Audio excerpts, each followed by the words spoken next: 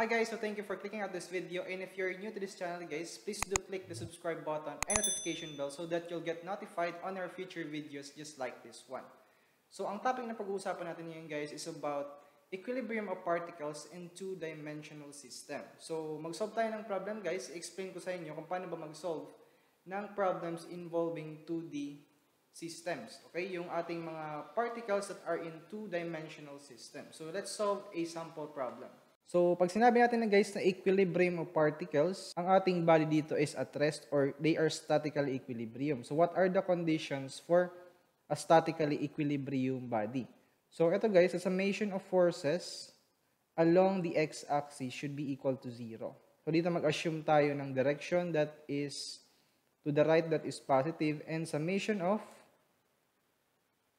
forces along the y-axis should be equal also to zero. So assuming that upward forces are positive. So downwards are negative.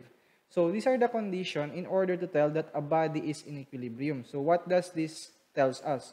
So it means that the forces acting on a body is balanced. So wala tayong unbalanced force that may cause movement. So if our summation of forces along each axis is not equal to zero, therefore a body will move and it is not considered as a statically equilibrium or at rest. So first problem natin guys, two cables are tied together at C and are loaded as shown. So determine the tension in A in cable AC and in B in cable BC. So meron tayong dalawang required here. The tension in AC and the tension in BC in order to support this uh, 1,600 kilograms of mass. Now, first step, of course, is to make a free body diagram. So, FBD ang gagawin natin. The forces acts along point C here. So, this is at point C. Then, we have here the forces, tension. So, away from the point yung ating tensions because it carries this load 1,600. So, it lifts this 1,600 mass na object here. As you can see in the figure. So, this is tension BC. And this is, you have here, tension, AC. So then our load, which is the 1,600 kilogram of mass, the load caused by this mass is downward. Okay, as we can see in the figure. So this is a downward force. We have here the weight, the object, which is equal to mg. Then, yung ating mass is 1,600 kilograms. And yung ating acceleration due to gravity, constant yung gamitin natin, that is 9.81 meters per second squared.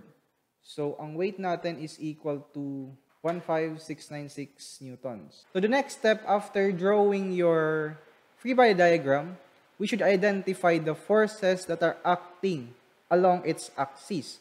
So, kunin natin lahat ng components niya along the x and along the y-axis. So, for tension BC here, ang component niya is somewhere here. Okay, so this is x component ng tension BC.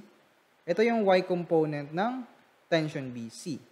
Ito yung x component ng tension AC. As you can see here, along the negative x-axis, the left. So, ang axis natin is If you're going to the right, that is positive x. If you're going upward, that is positive y.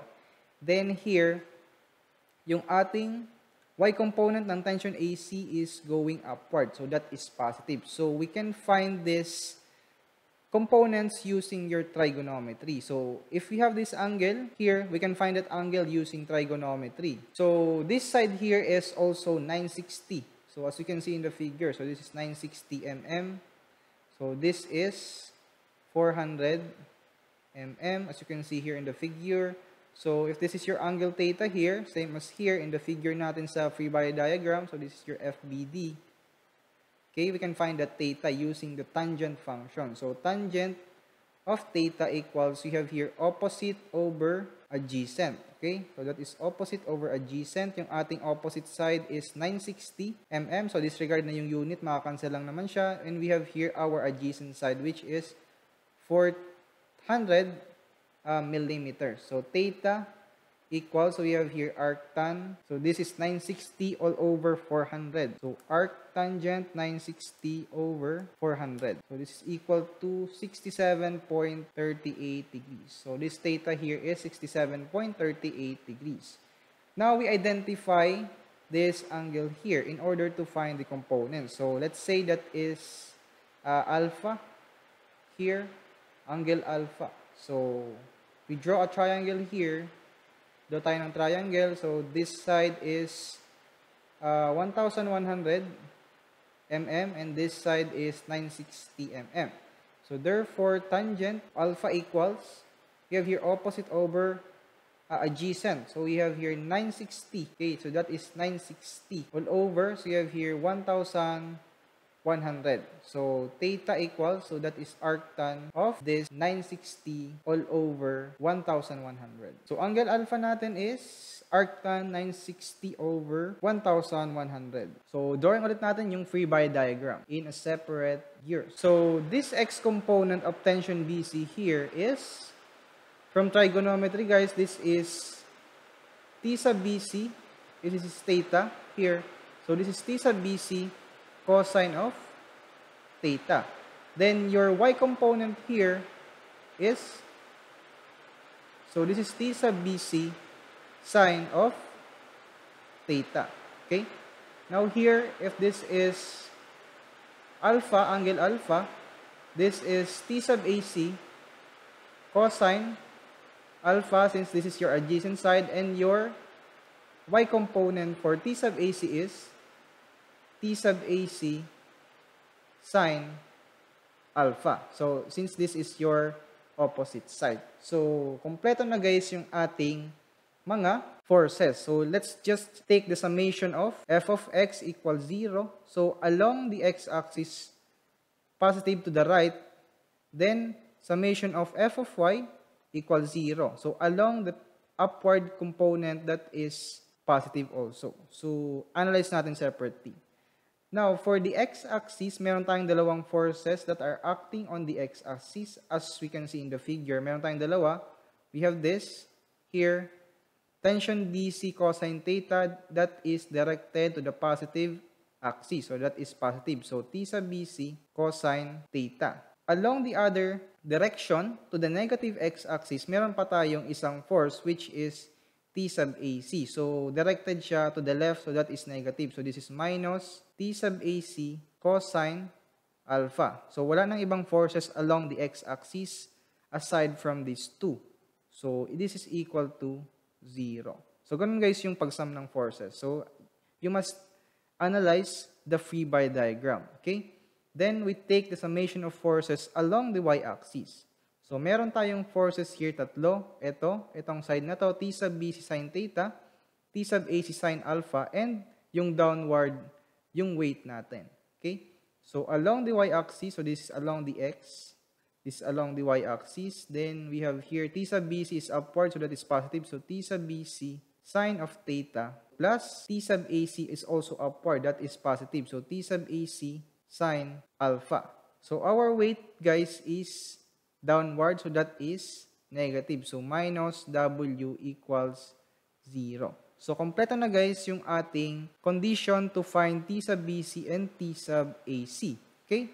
So as you can see here, meron tayong dalawang unknown. So T sub BC and T sub AC. Given tayo ng dalawang equation, pwede natin siyang mahanap. Now, i-plug in natin yung mga data. So, angles are here and yung weight natin is 15696 newtons. Now, let's just substitute this given data. So, T sub BC, from here, from this equation 1, equation 2, you have here T sub BC cosine theta is, so cosine 67.38 degrees. So, minus T sub AC, you have here cosine, alpha natin is 41.11 degrees equals 0.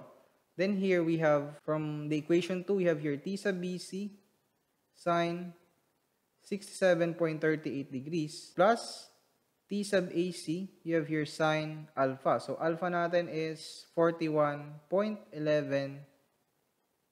degrees and minus yung weight natin that is downward negative 15696 Newton. So, this is equal to 0. Now, from equation 1, you can say that T sub BC. Okay, T sub BC equals, so transpose natin yung T sub AC. So, T sub AC, that is cosine 41.11 degrees divided by, you have here cosine 67.38 degrees. So, T sub BC equals 1.96 times T sub AC. Okay? So, you can see here, mas malaki pala yung T sub BC sa T sub AC. That is 1.96 times T sub AC.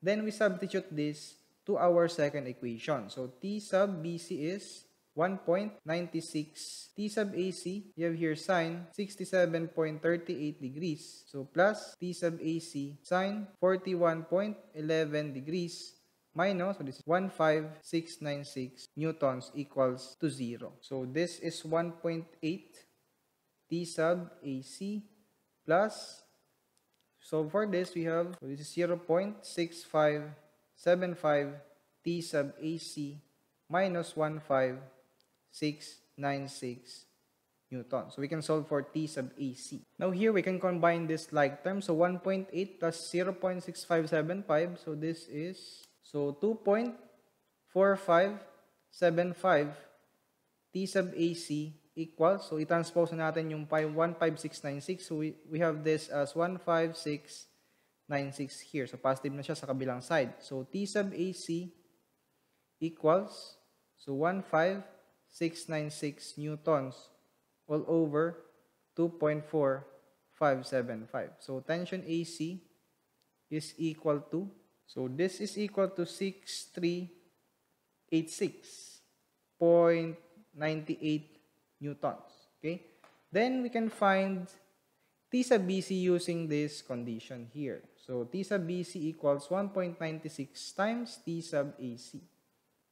So T sub BC is 1.96 times T sub AC. So, 1.96 times 6386.98 newtons.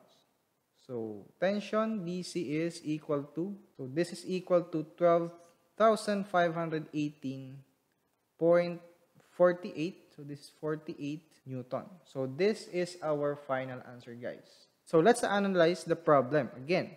So, it means that in order for this system to become in equilibrium, ibig sabihin, kaya niyang i-lift yung 1,600 kilograms without breaking, hindi mapuputol yung mga wires, and statically equilibrium lang yung ating object here. So, in order to do that, tension AC. So, the rope here or wire AC here should support or should exert a load of 6,386.98 newtons as well as tension of the rope BC should exert or should have a force of 12,518.48 newtons. If that's so, yun ang conditions natin so that they can support this body and this body will stay in equilibrium. Okay? So that is how you solve for the forces in order to make a body in equilibrium. So the concept, the key concepts are, let's repeat, that is the summation of forces along the x-axis should be equal to 0 and the summation of the forces along the y-axis should be equal to 0. And it's a matter of drawing your free body diagram. Kasi doon mo guys ibabase yung ating computation. If the forces ba are positive or the forces ba are negative. So you just add the forces along each component. Then you can find those missing components in order to make the body in equilibrium. So that's it for today's video guys. I hope na meron kayong natutunang concept in analyzing forces in two-dimensional system or force equilibrium of particles in a two-dimensional system. So ang next natin na i-discuss guys in my next videos are analysis of forces in a three-dimensional system. So yung forces in space naman. So, step by step lang guys yung ating lecture in statics. So, hopefully, matapos natin lahat ng uh, topics and see you guys on my next video. So, before I end this, shout out muna sa mga uh, taga Bicol University College of Engineering, uh, University of Cebu, and uh, Batangas State University. So, hi guys sa uh, College of Engineering dyan. And uh, shout out sa inyong lahat. Thank you for subscribing on this channel. Kung hindi ka pa subscribe, just click lang ng subscribe button natin and notification bell so that you'll get notified on our future videos, just like this one. Thank you guys and see you on my next video.